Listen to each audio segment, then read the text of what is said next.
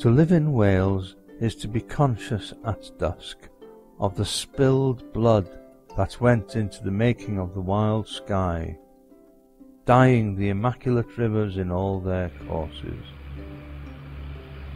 It is to be aware, above the noisy tractor and hum of the machine, of strife in the strung woods, vibrant with sped arrows.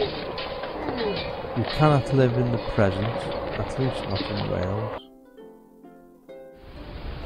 There is the language, for instance, the soft consonants, strange to the ear.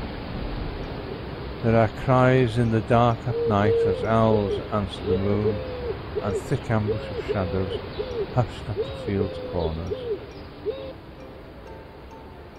There is no present in Wales, and no future.